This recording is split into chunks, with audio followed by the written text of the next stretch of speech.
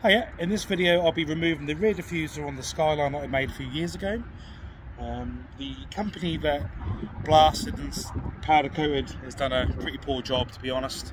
Um, so yeah, it's time to give that a refresh. So I'll just show you what the condition of it's like now. As you can see, the edges uh, pretty rusty really, really thin. Um, as you can see, it's just flaking off. the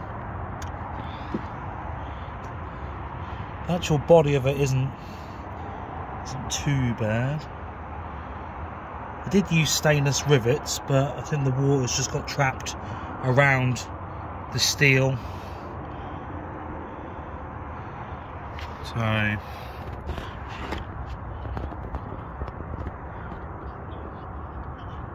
Yeah, really bad.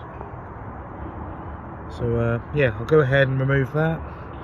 Get all the rivets drilled out, get it set away, and blasted. And there we have it. That's the diffuser now removed. There are a couple of brackets still on the car that the side fins put onto. Um, but I remember having them powder coated when I first done it, so they should be okay. Uh, so yeah, you can see the extent of the corrosion. See here is where this long black bar sits. All the, the dirt and crap's just collected there.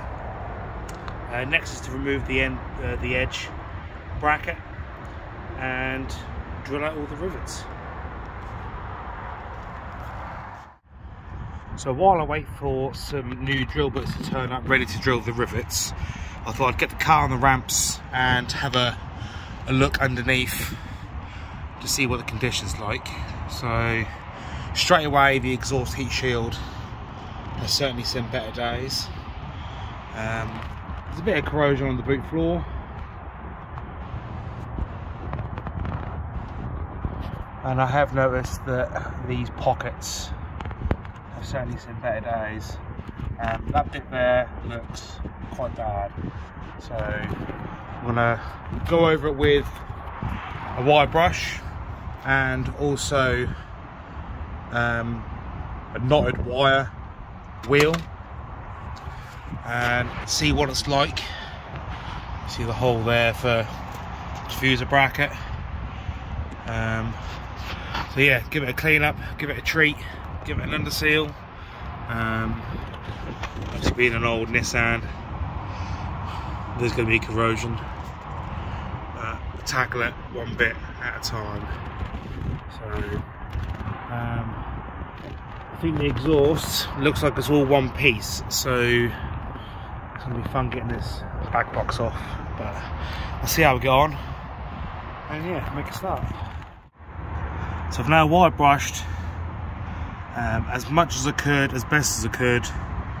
Um, the boot floor, inner panels. Some areas are harder to get to. Um, so I've done my best with a hand wire brush. So it's quite clean underneath where the heat shield was. Um, and as I suspected, found the first hole. So that is going to need to get welded at some point. Um, it's very thin here as well, as you can see. Um, so yeah, I'll get these done. I'm to treat for now. Um, with the wedding coming up, I haven't got the money just yet to get the, the welding done, but I will. So next step, rust treatment. I let that cure, I think it takes an hour or two to cure. Um, and then, I think I got some stone chip. Let's see if I got some stone chip. If I got some stone chip, we'll do stone chip first, and then under seal. And here we are, it's all under sealed. So after the Kurust. I done a coat of zinc, followed by two coats of underseal. Second one being thicker.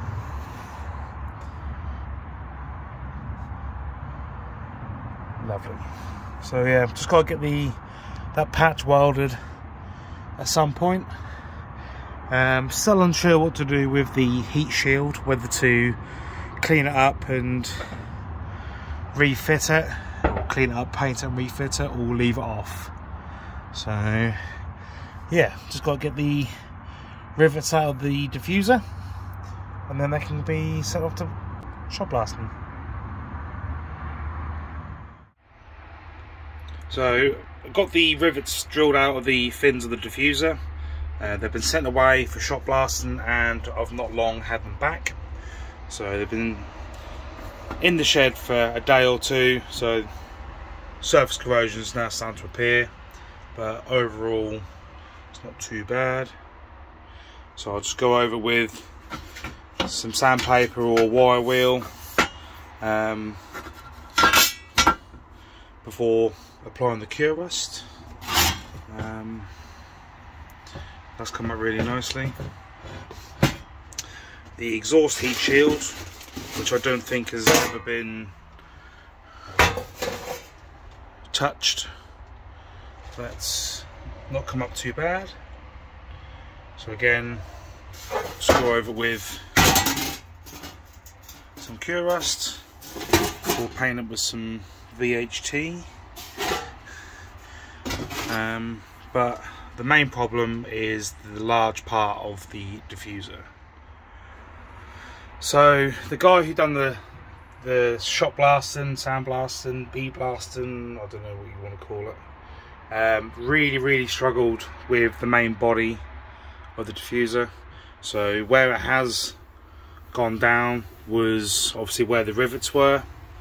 Um, that obviously came off quite easily, but the majority of the panel he was struggling. Um, he used um, a carpet pad, uh, which I assume is a like a belt, like a belt sander or palm sander, something like that, um, down to 40 or 60 grit, and it's still not coming off. So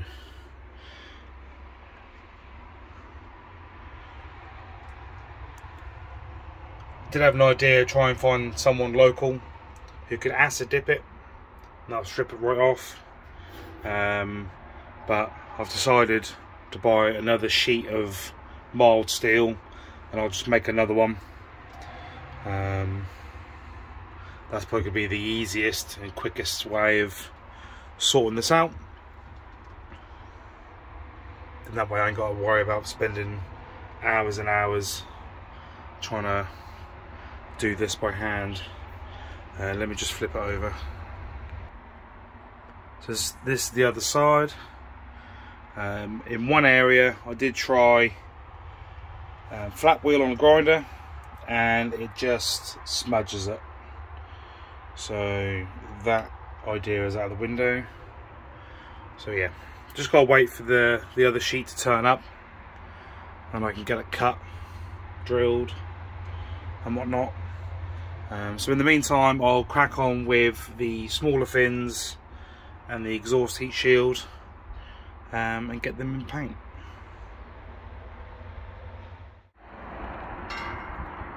So the pieces have now been wire brushed, cleaned with white spirit and Kurust. A bit windy today, but luckily the sun's out. So I now make a start with doing a layer of zinc and then I'll do stone chip followed by smooth Hammerite. So they now had a, a coat of zinc primer ready for some black stone chip. Um, not come out too bad.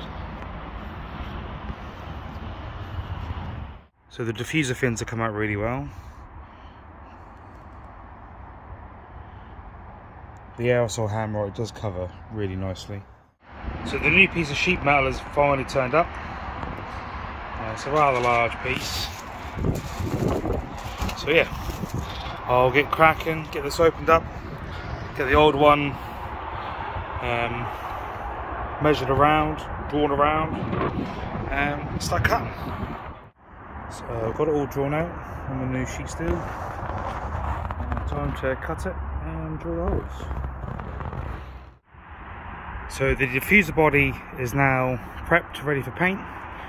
All the holes drilled, deburred, edges are filed, so they're lovely and smooth. Oh, obviously don't need to cure rust, because it's fresh metal.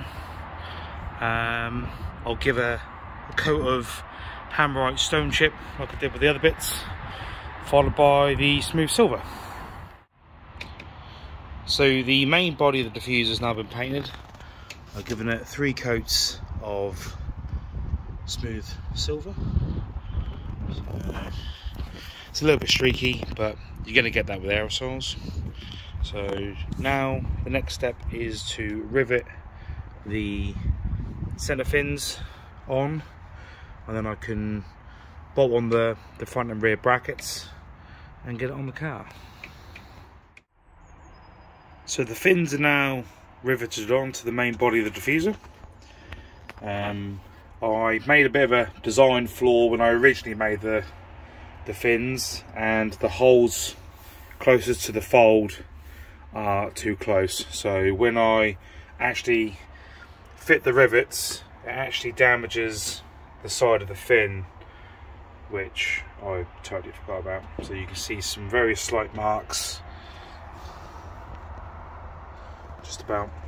So anyway give it a blow over with some paint. Hopefully that should um, hold up fine. So the next job is to apply some clear silicon sealant. Um, I don't think the professionals do this when fitting um, diffusers and aerodynamic pieces and whatnot but if it can help me preserve this from rusting anymore and whatnot then happy days. So I'm just going to put a bead um, around the edge of the actual fin just to, to stop any water getting underneath it. Um, even though both underneath the actual main body of the diffuser and the other side of the fins are painted um, it's just a precautionary really. Um, I did paint over the tops of the rivets um, but obviously the hole in the center will be another water trap potentially so I'll just put a little dab of clear silicone over the top and also on the underneath of the rivet as well. Um, so I don't think anyone's going to be getting up that close to the diffuser to be having a look, but yeah, if it helps, it helps. So I'll crack on doing that. Um, the brackets are bolted on, um, just got to do the two in the middle which bolt to the car itself. Um, yeah, and that'll be ready to refit on the car. So the silicon's now been applied. Just gotta let that dry. And then I can fit. So in the meantime, uh, I'll fit the heat shield back over the back box. I'll get the, the, the smaller panel fitted on the other side of the exhaust and get that built up um, and then this should be ready. So I've now got the heat shield back on with some stainless hardware and the smaller piece, the other side of the exhaust is now done. So I'm using a bracket attached to the inner wheel arch passenger side to a bracket and then we'll shuffle around. Um, yeah, I will address this scabbiness at some point. And that's the side fin on. Still got one more bolt, that one to, to do up, but uh, while I was under here it was easy to make a video. So yeah that bit's near enough finished. And the diffuser is now finally on.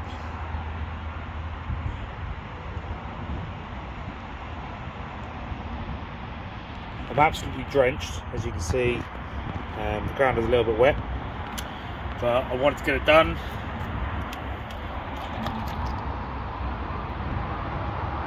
looking much much better.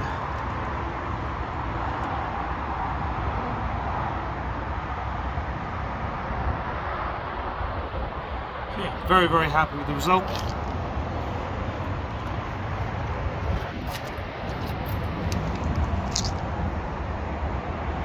There we go. My custom diffuser